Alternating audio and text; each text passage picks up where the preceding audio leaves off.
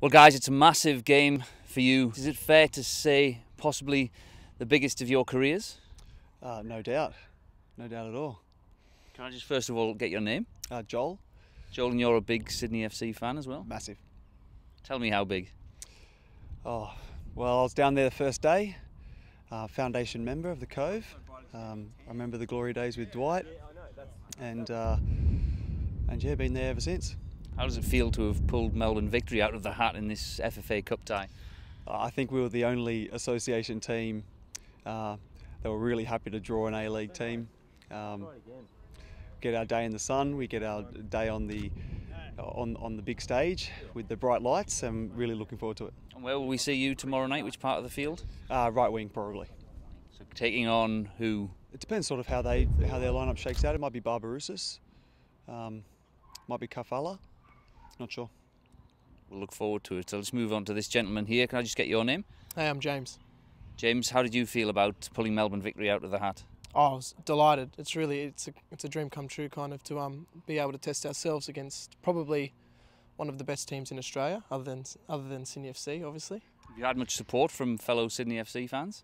Oh yeah, definitely. It's um we've been um a bit of Facebook banter and stuff, so um the mutual hate of Melbourne victory. So all the Sydney FC fans are definitely getting behind us. Well, let's hope you get a, a- a few out there at Leichhardt Oval. Andrew, how much are you looking forward to tonight? Obviously, preparation. You're trying to get prepared mentally and physically leading up. As soon as we drew them, you know, you want to try and perform your best and give the fans a show and yeah, stick it up, Melbourne. So Bit of a revenge for the grand final, will it be for us? yeah, definitely. And uh, it's just going to taste sweeter when we win. Tom, you're the captain. Uh, how proud of you uh, are you of the, the team and, and how well they've done to get this far? Yeah, absolutely. I think uh, you know not many people gave us a chance to actually reach the round of 32. So now we're here. We're certainly going to embrace it, and uh, delighted with the guys. You know, very proud of, of them, and, and you know going coming on this journey with them has been has been fantastic. What's been the reaction around the club in general? You mentioned to me just before that it seems to have brought the club together a bit more. Yeah, absolutely. I think there was a bit of disbelief initially with the draw. Um, now it's kind of sinking in. Uh, I think also, it, like I said, it's brought the club together in terms of uh, the old faces, some of the, the guys that actually got us into state league, and that's been really nice. You know, the community, the fan base has got behind us. Um, so for us, it's been a marquee draw. Hopefully, we can do the club proud. You mentioned the old faces. Even the Sydney FC chairman was a Balmain Tigers one one year. He was. Scott Barlow was actually one of our, our, our marquee players back in the day, so it was great to, to get in contact with him, and obviously, you know, for him to throw his support behind us uh, has been has been a really nice added spice to the contest. And uh, again, I hope we, we can do the club and, and Sydney FC proud. Well, just next to you, we've got the man who uh, who's got the job of uh, deciphering Melbourne victory and how they're going to play. Just just let us know what your job is. Um, I'm an assistant coach for um, the boys. Um, I used to play with them two two years ago until I um, absolutely destroyed my knee in a friendly game, and uh, it was too hard for me to come back. So I decided to take on the coaching role and help these boys, and on that part with the head coach, helping him out as much as I can.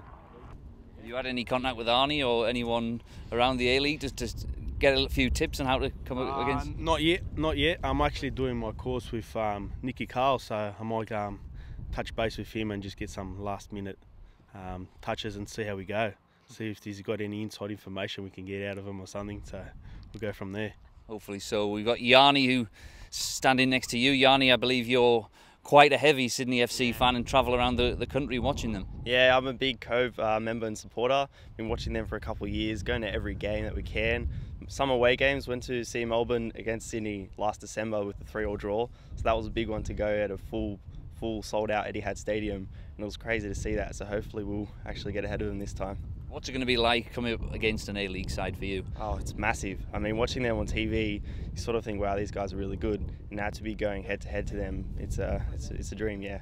And what have your Sydney FC Cove members been saying to you? They've actually, they've been like, good luck. You definitely need it.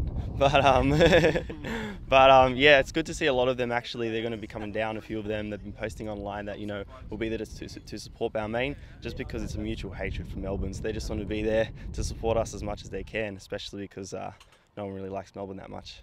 Good stuff. And uh, just finally, just tell me who, who you are standing next to Yanni.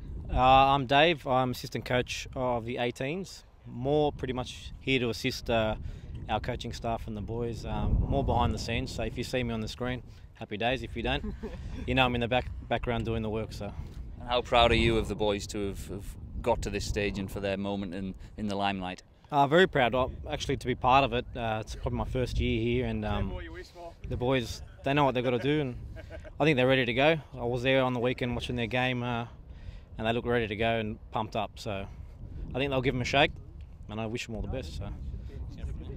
So for all the best for the game tonight, guys. We'll be behind you certainly, and uh, hopefully we'll we'll see some sort of a, an upset. Best of luck.